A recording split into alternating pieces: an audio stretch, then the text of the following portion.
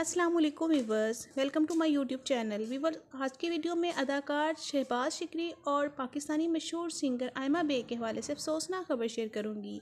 पाकिस्तानी मशहूर सिंगर शहबाज शिकरी और आयमा बेग जो पिछले काफ़ी अर्सा से रिलेशनशिप में थे।